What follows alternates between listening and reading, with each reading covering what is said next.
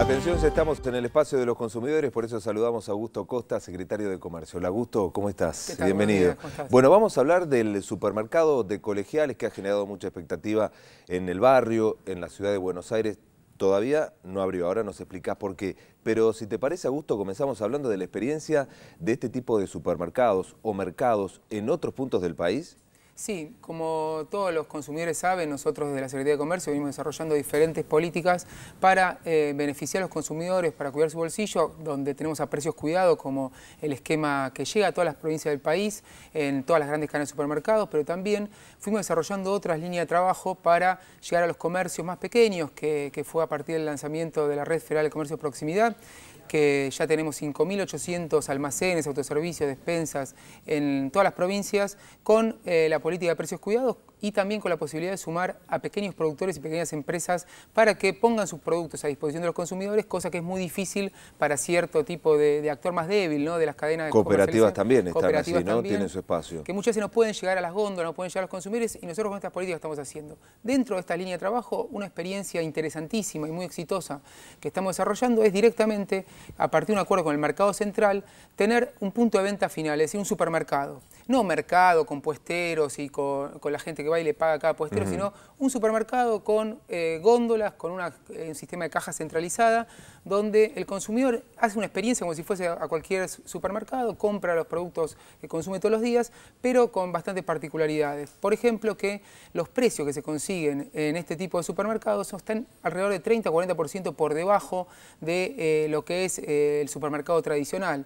Y esto no es porque hagamos dumping o subsidiemos o, haya algún tipo de ¿Cómo se llegan a esos precios? Se llega simplemente eh, poniendo los márgenes de rentabilidad donde, donde es lógico. Es decir, el supermercado eh, gana lo que tiene que ganar para poder eh, funcionar sin abusarse el consumidor y eso hace que los precios bajen 30-40%. ¿Dónde estamos ya desarrollando estas experiencias? Bueno, en tres provincias, donde un acuerdo con el Mercado Central, el Gobierno Provincial y la Secretaría de Comercio, tenemos en Mendoza, en la estación de, ómnibus de Guaymallén, que es la segunda terminal más grande del país, que pasan 10.000 personas por día, tenemos un supermercado eh, central de la red Comprar, después en San Luis, en, la capital, tenemos otro supermercado y en eh, el Gran Resistencia, el municipio de, Fontana, en Chaco, también una tercera experiencia. En los tres casos lo que vemos es que los consumidores pueden acceder a a productos a precio más barato, de calidad y además le damos la oportunidad a muchos productores y cooperativas de las zonas de poder expandir su volumen de venta, con lo cual es una política que beneficia a todos. Augusto, todos con el mismo criterio, digamos, con los precios del mercado central, modalidad supermercado. Todo ese criterio también quiere eh, mm, se, pretende, digamos, instalarse aquí en Buenos Aires, en el barrio de Colegiales, en el supermercado Colegiales. Sí, al ver que estas experiencias realmente son muy eh, beneficiosas para los consumidores, pero también para los productores, empezamos a analizar junto con, la Agencia de Administración de Bienes del Estado diferentes predios para poder eh, expandir esta experiencia. Entonces, en Buenos Aires, en el barrio de Colegiales, en Kramer y Jorge Newbery, ahí estamos viendo las imágenes, tenemos un...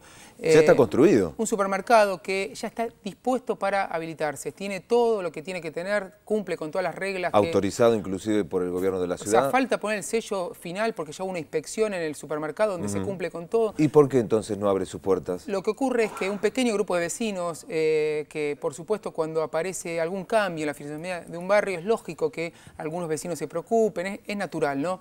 Entonces, eh, interpusieron un pedido para, para que no se abra y la justicia federal ha dispuesto una cautela. Uno de estos vecinos, Augusto, es jefe de campaña, jefe de prensa del electo jefe de gobierno Horacio Rodríguez Larreta, sí, casualmente enfrente del supermercado vive el que es el vocero de prensa de Rodríguez Larreta, quien es uno de los principales impulsores de esta, eh, de esta denuncia para que se, se produzca la cautelar.